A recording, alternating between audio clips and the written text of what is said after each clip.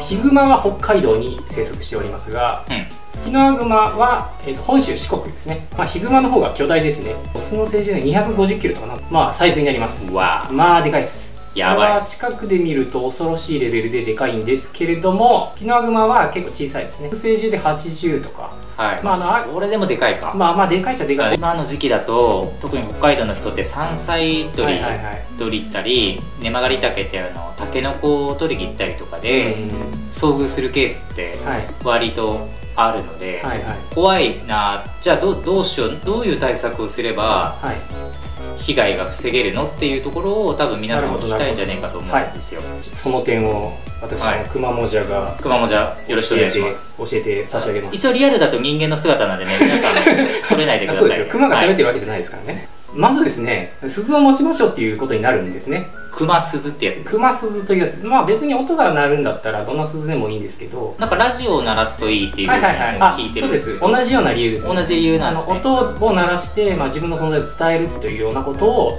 するということです。ヒグマですら恐れておりますので。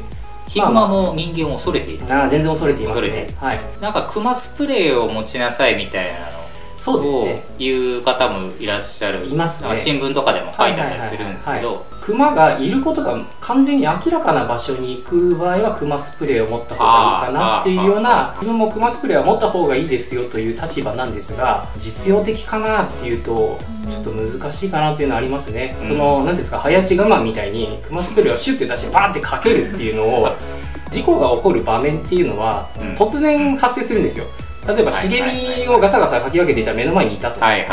その状況でその特殊な訓練を受けてないとそれは間に合わないのではというような場面がやっぱりあるんですよね、うん、さあ無駄ではないとは思うんですがあの順序的にはやっぱり鈴ラジオかなというふうに思っております、はい、なるほど。クマスプレーデリケートな道具なんですね。そうですね、えー、構えてえー、安全装置を外して標準を狙いを定めて はい、はい、熊の爪はワンアクションですよ。そうですいやあの瞬発力に対応できるかというと 私は自信ない。ですゆうさんからも補足というか何かあります？なんか熊に会ったこととか。熊に会ったことありますね。学生時代にえっと、猿の調査をしていて猿調査。はい。先輩と2人で歩いていたら こう秋の草むらからガサゴソってでかいガサゴソ音がしてあかん。って待ってたらその私たちの目の前にバッて出てきて。そう私はまだそのシャレならがですね大学1年生であんまりこう野生動物について学んでいない時に出会ってしまったんですよね。ハンターレベル1の状態。はい。私は一番やってはいけないことをしました。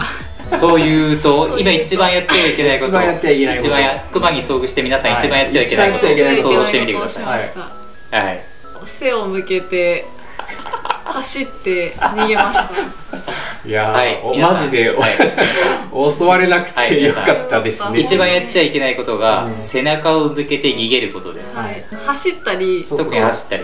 興奮させるのは良くない、ね、あ良くないです。で一応専門家が言う推奨する方法があるんですよ。ばったり出会った時に、どうするかと言いますと、うん、まああの後ずさりしてゆっくり逃げるという。後ずさり。っていうことがあるんですが、はい。できるわけないじゃないですか、はい、だって伊代さんが走って逃げたんですよ。そんなことなかなかできないよなと私は思うのでやっぱりスズラジオを持たないと。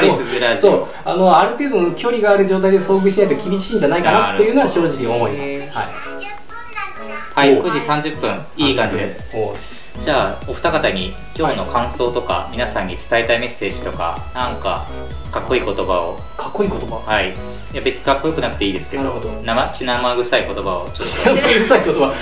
普通普通で普通でいいです 山に入る時は鈴を持ってください。データ。はい、ドン。今日の教訓これだけ、はい、熊鈴は本当に費用対効果の高いものなので。なんか100均とかでも結構立派なやつがあります別にそうなんですよ。値段とかあんまりなんか聞かれることもあるんですけど、うん、いやとにかく鈴があることが重要で、うん、まあ別に音がどうとかあ、もう一点あの注意はですね例えばザックとかにつけるじゃないですか、はい、であれをあの山菜採りの時にザックを置く人いるんですよね。だから必ず動くところにつけてくださいっていうことですね。例えば長靴とか、うん、長靴とか腰とかあのそれはそう言い忘れた、はい、知ってるか？武器や防具は装備しないと意味がない あそういうことですね。鈴はならなきゃ意味ない。これねもう一個言うの忘れてた。あの複数人で行動してくださいね。これ何事でもそうですけど。それだ、はい。キナグマの場合もヒグマもそうですけどレスキューが間に合わなくて亡くなるっていうパターンがこれクマに限らずですね。蜂でもそうだしなんか事故でもそうですけど。はい皆さんフィールドはパーティープレイが原則です、うん、はいソロプレイはやめてください。やばいですよ。あの今日の感想。えっとクマを見かけても背中を見せてダッシュすることはしません。はい、宣言ですね。はい。いや、絶対する。働く一卒業ですね。はい、素晴らしい。ゆっくり後ずさる。い。や、できると思えないけどな。人生はあ倒れるなら前のめりですけれども熊切やったらゆっくり後ずさりで お願いします。ラコミートの約束です。はい。名言きた。